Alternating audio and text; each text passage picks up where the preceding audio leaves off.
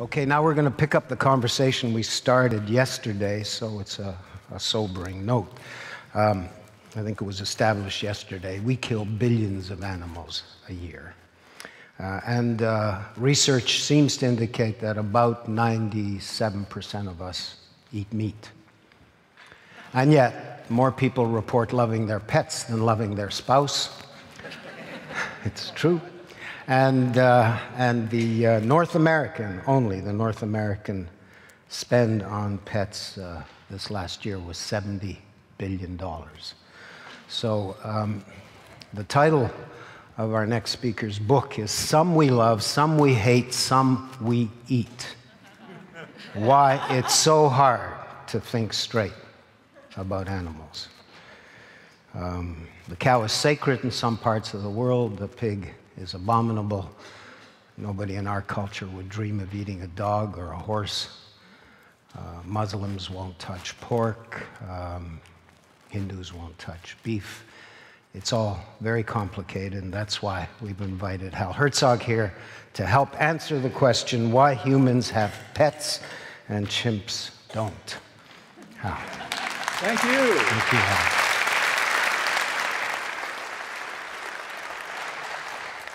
By the way, I feel like I'm uh, following the Rolling Stones here. It's a great way to wake up in the morning. How many of you live with an animal that you have an animal in your life that you deeply love? Okay, if you're a dog owner, let's get a count. Say woof woof. Cat owner, say meow. All right, so you know how deep our relationships can go. For example, 95% of Canadian, Canadian pet owners think of their animals as members of the family. Um, I hate to say this, but in the United States, a recent study found that about 40% of married women said that they got more emotional support from their dog than they did their husband or their kids. And more than half of Americans say that they would not sell their pet for a million dollars. And I want to say, I am not in that category. And this is my cat, Tilly. She's a real sweetheart. I will sell her for a million dollars, even Canadian dollars. So if you're interested, see me later, okay? Now, what I want to do is argue that humans are the only animals to keep pets. And I want to first of all talk about the exception that proves the rule. And it's absolutely fascinating. A group of uh, primatologists in Brazil in 2004 discovered a group of capuchin monkeys that are about this big and very smart, living, having adopted a marmoset, a baby marmoset, another species, another genera of monkeys, which is about this big.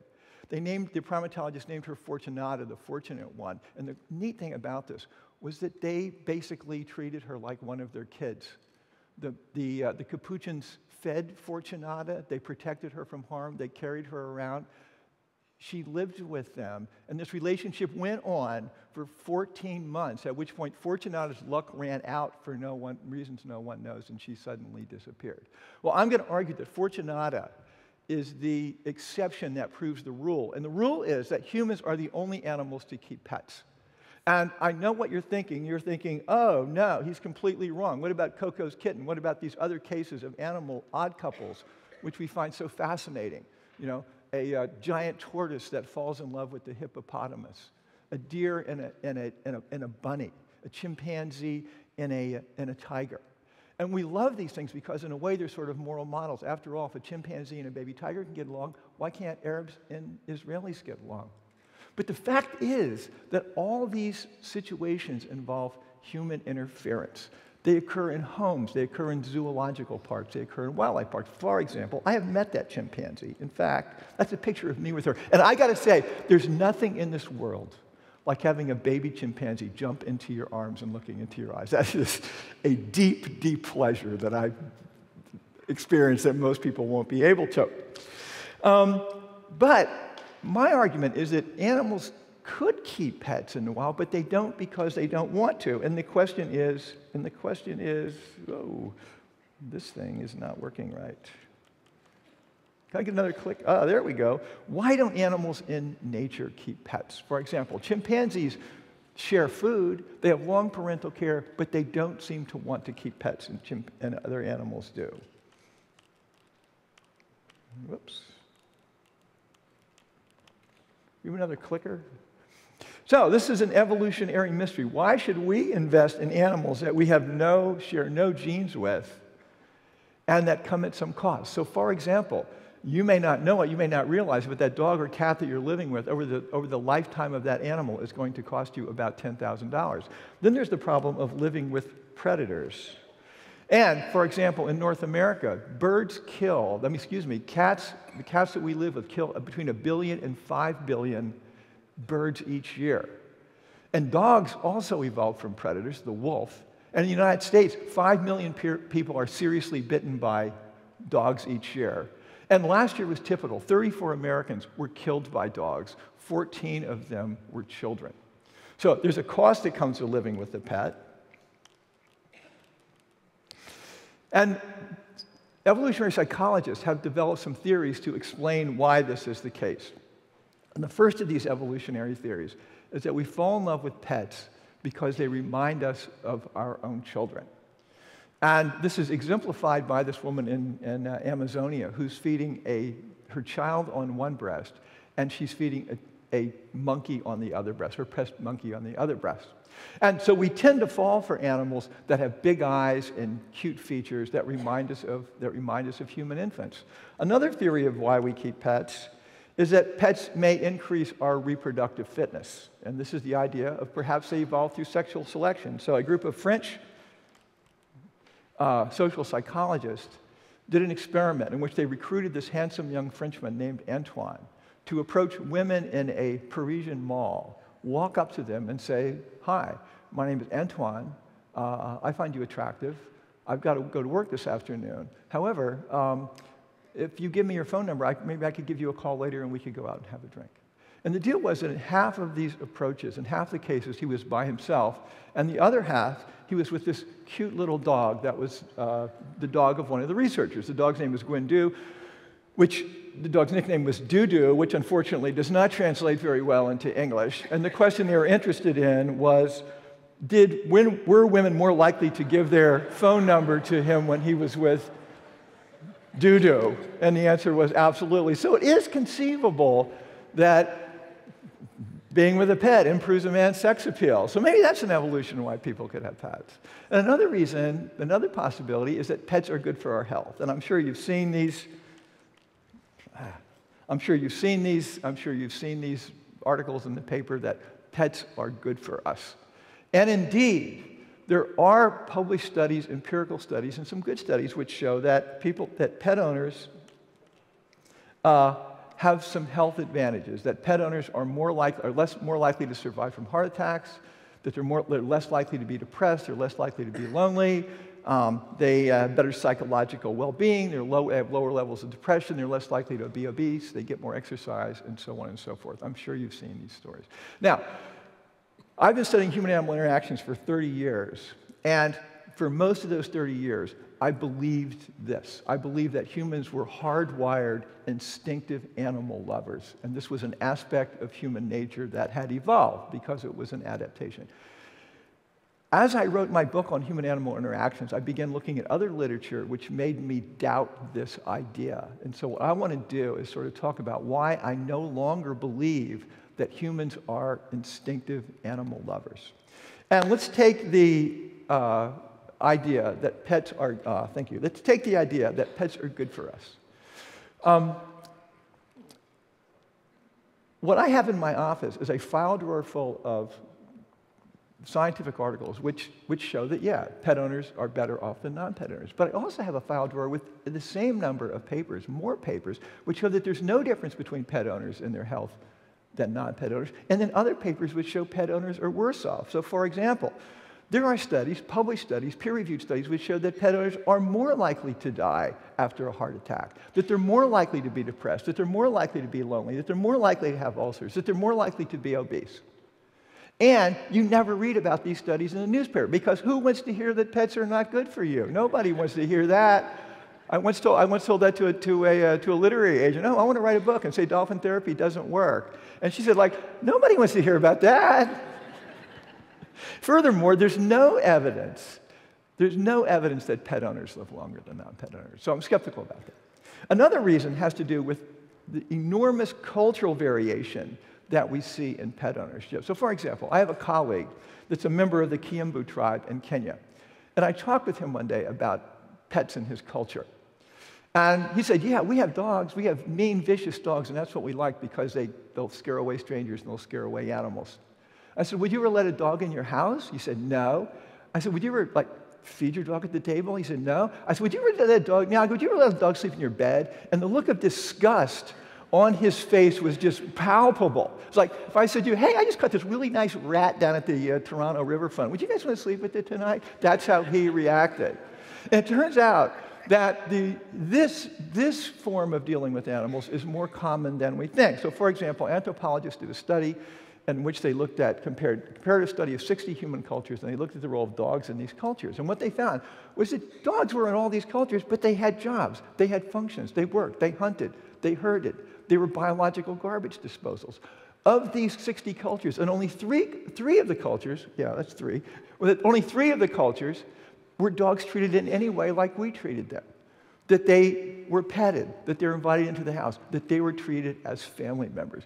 We are the exception rather than the rule. Now, our exception, like Coca Cola and McDonald's, is spreading across the world, but historically, this has not been the case.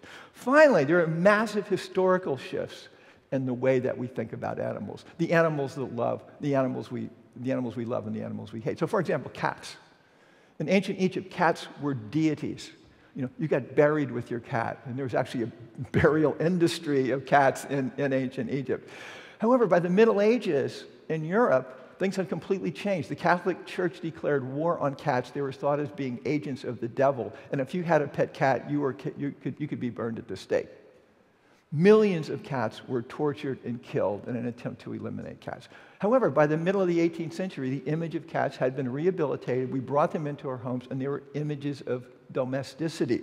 So, what I suggest is that biological evolution, biological ideas in which we are instinctive pet lovers, cannot explain why a dog can be so beloved in Kansas and can be put on the barbecue for dinner in Korea why there was a sudden demand for giant beetles in Japan as pets for kids, and why in Amazonia this girl is in love with her pet frog. So I'm suggesting a different explanation is required for, for why we bring pets into our lives.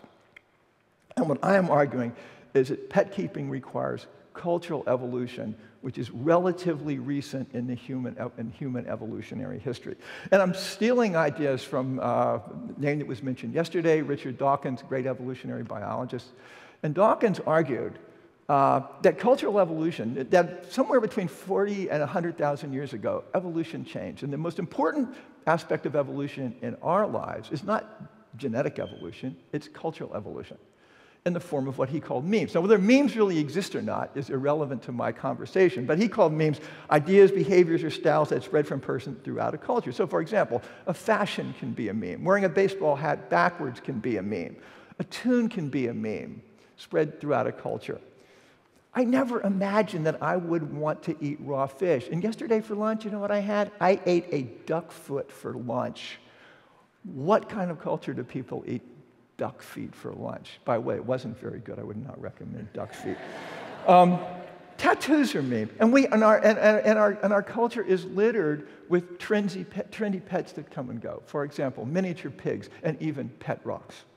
Now, can we study the transmission of these metaphorical memes across culture? And the answer is yes. And what my colleagues and I have been doing has been using a theme in this conference, big data, to look at how cultural evolution occurs in our love for animals. And I was incredibly fortunate in that the American Kennel Club at one point gave me a data set which included 60 million dogs. If you're in the United States and if you have a dog that's registered with the American Kennel Club, I've got your dog represented on my computer. So my sample size is 60 million. Now, what I was able to do is to, create, is to recruit some people much smarter than me that, were that, that, that study molecular evolution to apply their mathematical tools to changes in our pre- cultural preferences for pets. And a, a few of the things that we found. Um, our preferences for pets are constantly shifting. And this, this, graph, uh, this graph shows this. What we find, what we find is that um, there's a constant turnover in fashionable pets. So, for example, in the top, in the top uh, 40 pets, top 20 pets in the United States, there's a changeover of about two breeds every two years. So there's constant flow. More importantly, what we find is that there is a, pets can go viral. So, for example, Irish setters are a good example, just like a YouTube viral. They were, they were chugging along at a you know, pretty low rate of popularity until about, 19, uh, about 1963, in which, for no reason at all, they suddenly took off and went from 1,000 registrations a year to 70,000 registrations a year. And this boom and bust pattern in Irish setters is pretty common. It took, and not pretty common in some breeds, and it takes about 25 years from the top of the boom to the bust. And there's other phenomena that occur, and these same phenomena occur in things like baby names. There's a tipping point, just like there is, this is a social epidemic, which is very much like a biological epidemic. Um, and we found that dog breeds follow what's called the logic of fashion cycles. If a dog breed gets popular fast, it crashes fast. If a dog breed gets popular slow, it crashes slow, just like other forms of fashion. And we also found that there's a Disney effect. So, for example, we found that after the, after the movie The Shaggy Dog came out, that registrations for Old English sheepdogs increased 10,000% in about a decade extraordinary and crash just as fast. But recently we've been looking at, I think, a more, a more interesting problem. And it's the, it's the problem of whether or not, whoops, it's, well, it's the problem of whether things get, the better things get more popular. And the question here is are dogs, are dog breeds like iPhones that got popular because they're really good at what they do? Or are they more like hula hoops back in the 1950s that got popular simply because they were popular and other people did it.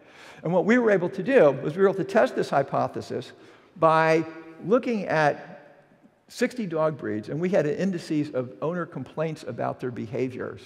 And we were able to ask the question do dogs that have better behaviors get more popular? And do dogs that have fewer genetic diseases get popular? And so, for example, compare Chihuahuas and Poodles. What you see is if you look at Chihuahuas, any of you have small dogs? Small dogs have problems. I don't know if yours do, but small dogs tend to have problems. They, uh, for example, Chihuahuas are good examples. They tend to uh, get in fights with other dogs. They tend to bite their owners. They're, they're fearful. They're neurotic. They're, uh, they're low trainability, interestingly enough. On the other hand, poodles have low, low frequencies of those obnoxious traits, and they're pretty good at trainability, which is good. So, was there a relationship between quality and popularity? The answer was no, absolutely not. None of the behaviors that we looked at was correlated with dog popularity. There was a correlation between health, but what we found was that the healthier, the, the dogs that were most popular had more genetic problems than dogs that were unpopular. So this raises the question, can really dumb ideas in pets become popular? And we have an example of that um, in the English Bulldog. So if anybody has an English Bulldog, I feel sorry for you. Uh, your life, it consists of dental problems, sleep, snoring. You become your veterinarian's best friend because you're going to send his kids to college. They fart a lot, they snore, and they suddenly drop over dead. You would think that they would be becoming less popular. In reality, they were becoming more popular. They're now the most, fourth most popular breed in the United States. So there's other problems with pets as fashion statements. For example, we've got this selective, we've got this selective breeding for deformities. We now have genetically engineered fish that glow in the dark. I don't know what's morally wrong with that, but it gives me the creeps. But I do know there's something morally wrong with the pet fad in China, which is encasing small animals like turtles in plastic where they cannot be fed and using them as forms of jewelry. So, back to the question really quickly of why animals keep pets and humans don't. What I'm arguing is that pet keeping requires a suite of characteristics, some of which animals have. Chimpanzees have some of these things. They have parental instincts. They can become attached to other species. We know that. They have empathy. But what they don't have is the ability to imitate that humans have. They don't have the degree of rapid cultural evolution that I think is a requirement of pet keeping. So I'm a human exceptionalist when we comes to this. Like when psychologists have argued, every psychologist takes a, takes a pen to paper, someday writes a sentence that says, that says humans are the only animal that, and I say keep pets. And I want to close by one thing. My little field of the academic world is called anthrozoology. And it's important for a number of reasons. First of all, animals occupy almost every aspect of human life. The animals we eat, the animals we love, the animals hate, they occur in art, they occur in religion, they occur in music, everything. And we're just starting to study this. And I think the reason that I do this is because when we study our relationships with animals, we are really learning about ourselves. Thank you.